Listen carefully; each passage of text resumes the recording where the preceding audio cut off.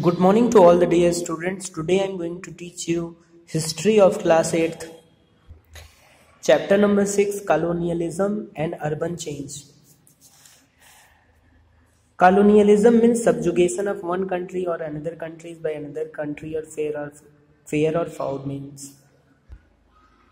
ये वीडियो इस चैप्टर का हिंदी एक्सप्लेनेशन है इसमें मैं आपको बताऊँगा कि कॉलोनियलिज्म क्या है कॉलोनियलिज्म है, का मतलब होता है जब किसी दूसरे कंट्री द्वारा, किसी दूसरी कंट्री पर, जैसे इंडिया एक कंट्री थी एक कंट्री है, इस पर जब अंग्रेज़ों ने राज्य किया, यानी कोई दूसरा विदेशी पावर आकर के दूसरे देश की गवर्नमेंट हमारे ऊपर शासन करने लगे तो उसको कहते हैं कॉलोनियलिज्म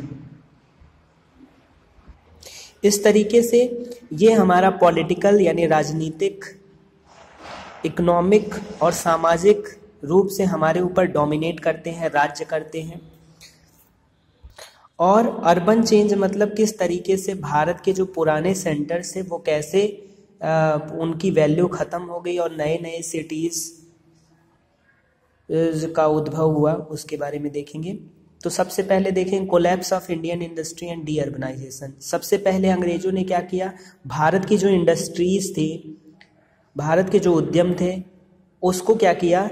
ध्वस्त किया, उसको ख़त्म किया, ताकि वो अपने सिस्टम को बना सकें बिल्ड कर सकें। अर्बनाइजेशन पहले समझ लेते हैं क्या होता है। अर्बनाइजेशन का मतलब होता है जब गाँवों से हट करके लोग शहरों में बसना शुरू कर देते हैं। तो उसे हम अर्बनाइजेशन कहते हैं। भारत में अगर देखा जाए उस टाइम पे वेस्टर्न यूरोप के अपेक्षा में अगर तुलना में देखा जाए तो अर्बनाइजेशन बहुत कम था। और इस तरीके से मुगलों के टाइम पर, मुगल काल में जो, मुगल पीरियड में जो सिटीज़ ज़्यादा इम्पोर्टेंट थी, उनका इम्पोर्टेंस कम होने लगा। भारत में जो इंडस्ट्रियलाइजेशन हुआ जो हमें यूरोप में इंडस्ट्रियलाइजेशन हुआ, उसकी अपेक्षा बहुत लेट में भारत में प्रारंभ हुआ। लेकिन इसने क्या किया कि कई सारे जो पुराने सेंटर्स थे, उनको डिक्लाइन कर दिया, यानी पीछे छोड़ दिया, या वो सब उनकी, उनका महत्व जो था, वो घटने लगा। और इसी डिक्लाइन को हम क्या कहते हैं? डी अर्बनाइजेशन कहते हैं। यानी जो इम्पोर्टेंस था ट्रेड का, या जो सेंटर्स थे उनकी वैल्यू कम होने लगी। अब भारत की जो इकोनॉमिक व्यवस्था थी, वो भी पूरी तरीके से ख़राब होने लगी। क्योंकि जो इंग्लैंड के लोग थे या इंग्लिश लोग थे, उन्होंने सबसे पहले भारत के कच्चे मालों को खरीद करके और अपने इकॉनमी को बढ़ाने के लिए क्या किया कि मशीनों से बनाए हुए उत्पादों से भारत के मार्केट को भर दिया। पुराने शहर जैसे डेक्का ढाका, मुर्शिदाबाद, इनका भी जो मार्केट था वो काफ़ी तरीके से बर्बाद हो गया, क्योंकि अंग्रेज़ों द्वारा जो बनाए गए प्रोडक्ट्स थे, सामान थे, वो सस्ते दामों पर बनते थे और सस्ते दामों पर बिकते थे। कॉलोनियल गवर्नमेंट यानी अंग्रेज़ी जो हुकूमत थी, वो कल्टीवेशन कुछ खेती पर भी विशेष ध्यान देते थे कल्टीवेशन कृषि पर जैसे इंडिगो ओपियम इन सबसे उन्हें बहुत ज़्यादा फ़ायदा होता था इसलिए केवल इन्हीं की खेती वो लोग करना पसंद करते थे। नेक्स्ट देखते हैं अर्बनाइजेशन इन कॉलोनियल इंडिया किस तरीके से भारत में अर्बनाइजेशन हुआ किस तरीके से शहरीकरण हुआ? नए सेंटर्स बनाए गए जो पुराने अंग्रेज़ों के टाइम पे आ, क्या कहते हैं मुगल मुगल काल में जो सेंटर्स थे उनका इम्पोर्टेंस जब कम होने लगा तो हुआ क्यों? ये कि इन्होंने कई सारे शहरों को प्रेसिडेंसी के रूप में डिवाइड कर दिया, जैसे बम, बॉम्बे, कलकत्ता, मद्रास, ये एटीन सेंचुरी की प्रेसिडेंसीज थी। बाद में कुछ और शहर जैसे न्यू दिल्ली चंडीगढ़, इस्लामाबाद, जो कि आजकल पाकिस्तान में है, वो सब भी काफ़ी बड़े सेंटर बन गए थे। शिमला और दार्जिलिंग भी काफ़ी पॉपुलर हो गई। ये हिल स्टेशन के नाम है। बॉम्बे पहली प्रेसिडेंसी थी, इसके बारे में पढ़ते हैं। पुर्तगालियों ने पोर्टुगीज ने क्या किया? बॉम्बे को किंग चार्ल्स को दहेज के रूप में दे दिया गया। मतलब उन्होंने उन्हें दहेज के रूप में दे दिया। और फिर बाद में ईस्ट इंडिया कंपनी के लिए एक प्रोमिनेंट प्लेस हो गया। एक अच्छा हेडक्वार्टर हो गया। सबसे इम्पोर्टेंट हेडक्वार्टर हो गया सूरत के बाद। बाद में अंग्रेज़ों ने क्या किया? बॉम्बे को प्रेसिडेंसी बना दिया और वहाँ एक गवर्नर नियुक्त कर दिया गया। और आज हम इसे बम्बई के नाम से जानते हैं। अब नेक्स्ट प्रेसिडेंसी है मद्रास। हालाँकि शुरू में जो अंग्रेज़ थे, वो मछलीपट्टनम के पास मतलब जो मद्रास के पास मछलीपट्टनम है, वहीं इनका सेटलमेंट था वहीं ये निवास करते थे। उसके बाद बाद में जो वहाँ का राजा था, उनसे परमिशन पाने के बाद इन्होंने सेंट फ्रा फोर्ट सेंट जॉर्ज बनाया, एक किला बनाया। और मद्रास एक प्रेसिडेंसी बन गया। कोरोमंडल कोस्ट के आसपास के सारे एरियाज़ इसमें कवर हो गए और आज हम मद्रास को चेन्नई कहते हैं। नेक्स्ट प्रेसिडेंसी है कलकत्ता। अंग्रेज़ों ने क्या किया? फोर्ट विलियम को प्रोसेस किया, यानी उसे अपने अधिकार में लिया। फिर बैटल प्लासी के बैटल में कोलकाता एक बहुत ही इम्पोर्टेंट हेडक्वार्टर बन गया। और वहाँ एक जन गवर्नर जनरल नियुक्त किया गया। कलकत्ता भारत की कैपिटल रहा नाइनटीन इलेवन तक। कलकत्ता को आज हम कोलकाता कहते हैं। कुछ और प्रेसिडेंसी जो नई प्रेसिडेंसी थी न्यू दिल्ली और चंडीगढ़। ये जो अर्बन सेंटर्स थे ये थोड़ा सा पुराने वाले जो ऊपर के बॉम्बे, मद्रास और कलकत्ता, इनसे काफ़ी डिफरेंट थे। पॉपुलेशन में और एरिया में। न्यू दिल्ली और चंडीगढ़ चंडीगढ़ जो था, ये प्लान्ड सिटी था। इसको प्लानिंग करके बनाया गया था। इसमें कई सारे बिल्डिंग म्यूनसिपल ऑफ़िस और कई सारी चीज़ें क्लॉक टावर्स भी बनाए गए। और अच्छे अच्छे रोड्स भी बनाए गए। अच्छे अच्छे स्ट्रीट गलियाँ बनाई गई। काफ़ी खाली स्थान भी बनाया गया। ताकि व्यापार आसानी तरीके से और रेजिडेंस रहने का स्थान बनाया जा सके। हिल स्टेशंस के बारे में पढ़ेंगे। अंग्रेज़ों ने कई सारे हिल स्टेशंस को डेवलप किया, जिसमें कि आज भी हम जाते हैं, आज भी वो काफ़ी फ़ेमस हैं। जैसे मसूरी, शिमला, दार्जिलिंग, ऊटी। यहाँ का क्लाइमेट जो था, काफ़ी कूल था, ठंडा था और अंग्रेज़ों के रहने के लिए यहाँ काफ़ी अनुकूल जगह रहती थी ये। टी प्लांटेशन और क्या कहते हैं, कॉफ़ी प्लांटेशन इन केरला और अर्बन एरियाज़ में किया जाता था। कई सारे कंटोनमेंट भी बनाए, टाउन्स भी बनाए गए, जैसे मेरठ, कानपुर और रुड़की। ये ब्रिटिशर्स के आर्मी की यूनिट रहती थी यहाँ। अंग्रेज़ों की कौन कौन से पॉलिसीज़ और इंस्टीट्यूशंस थे, उसको देखेंगे। अंग्रेज़ों ने अपनी सुविधा के लिए कई सारे व्यवस्थाएँ की, कई सारे सर्विसेज़ की व्यवस्था की।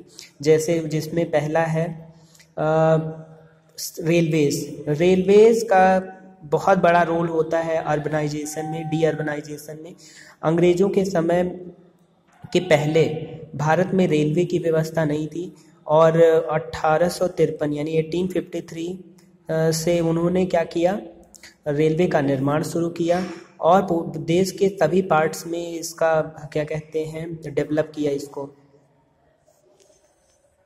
जैसे जैसे रेलवे का विकास हुआ, पुराने जो सेंटर्स थे, उनका इम्पोर्टेंस कम हुआ और नए नए सेंटर्स जैसे कलकत्ता, बॉम्बे, मद्रास, कानपुर और भी ज़्यादा डेवलप्ड हो गए। ये सब इम्पोर्टेंट सेंटर बन गए ट्रेड के। और 1905 1905 में अट्ठाईस हज़ार माइल्स रेलवे बना लिया गया था। इतना कार्य हो गया था। इतनी लंबी रेलवे लाइन बना दी गई थी और इसमें 350 करोड़ से भी ज़्यादा का खर्चा आया था और और रेलवे का विकास केवल और केवल अंग्रेज़ों की महत्वाकांक्षा, अपनी इकोनॉमिक, पॉलिटिकल और मिलिट्री इंटरेस्ट को समझते हुए उन्होंने भारत में इसका विकास किया। पुलिस एडमिनिस्ट्रेशन किस तरीके का था भारत में? अंग्रेज़ों द्वारा जो बनाया गया था। जो लॉर्ड कार्नवालिस था, यहाँ का गवर्नर जनरल था भारत का, उसने क्या किया? लॉ ऑर्डर को मेंटेन करने के लिए, नियम कानून को बनाए रखने के लिए, लॉ एंड ऑर्डर को बनाए रखने के लिए उन्होंने क्या किया? पुलिस को इंट्रोड्यूस किया। और इंडियन पीनल कोड भारतीय दंड संहिता का निर्माण किया एटीन सिक्सटी में। Under Lord Macaulay Lord Macaulay की अध्यक्षता में। इसमें कई सारे ऐसे क्रिमिनल चार्जेस बनाए गए। इंडियन पुलिस एक्ट 1861 मार्क्ड किया गया, जो कि मुगल सिस्टम को हटा दिया गया, उसको चेंज कर दिया गया। और इसका इसका उद्देश्य क्या था? इसका ऑब्जेक्टिव ये था कि वो पुलिस रिफॉर्म करेंगे और इसके तरी, इस तरीके से इंडियन पुलिस एक्ट को एक यूनिफॉर्म इफ़ेक्टिव पुलिस एडमिनिस्ट्रेशन बनाने के लिए भारत में ये इंट्रोड्यूस किया गया। और पहली बार पुलिस एडमिनिस्ट्रेशन को और भी ज़्यादा एक्सटेंड किया गया, बढ़ाया गया हर ज़िलों में। और inspector of general of police IGP पहली बार बनाया गया। पोस्टल सर्विस अंग्रेज़ों ने पोस्टल सर्विसेज़ को भी काफ़ी इफ़िशियंट बनाया, जिससे क्या हुआ कि टेलीग्राफ सिस्टम को इंट्रोड्यूस किया गया। पहली बार टेलीग्राफ लाइन कलकत्ता से लेकर आगरा तक खोली गई 1853 में। लॉर्ड डलहौजी ने पोस्टेज पोस्टेज स्टाम्प भी इंट्रोड्यूस किया। म्यूनसिपलिटीज़ म्यूनसिपलिटीज़ देखेंगे। ड्यूरिंग ब्रिटिश रूल इसमें का, ब्रिटिश सर्स के रोल के टाइम पे इन्होंने कई सारे सिविल फैसिलिटीज़ को इम्प्रूव किया। जैसे बड़े बड़े शहर जिन जिन बड़े शहरों में इस, इन सब की व्यवस्था किया गया किया गया। वाटर सप्लाई हो सके light domestic water supply sewage park और प्ले ग्राउंड बनाने के लिए इन्होंने म्यूनसिपाल्टीज़ का गठन किया। और ये कंटोनमेंट जो बड़े बड़े शहर थे जिसमें सिविल लाइन्स और कंटोनमेंट्स थे, जोन थे, उन्हीं में इन सब की व्यवस्था की गई। और बाद में सिविक प्रॉब्लम्स को देखने के लिए एटीन एट्टी वन में इन्होंने क्या किया, कई सारे अर्बन एडमिनिस्ट्रेटिव बॉडीज़ बनाई, जिनका काम क्या था लोकल टैक्स को लेना मेन रोड का, को मेंटेन कर रखना और गार्बेज यानी कूड़े कचड़े को हटाना और बच्चों को प्राथमिक शिक्षा और पब्लिक हेल्थ यानी हम कह सकते हैं हेल्थ फैसिलिटीज़ प्रोवाइड करना इसका काम था। अब आगे देखते हैं एक्सरसाइज देखिए, इसमें which of the following is not port town port town कौन सा नहीं है? इसमें हो जाएगा डेली डेली क्या है? पोर्ट टाउन नहीं है। Two port to fortify their position in Kolkata British established Fort William और दिल्ली किस बैंक पर सिचुएटेड है? Delhi is situated on the bank of Yamuna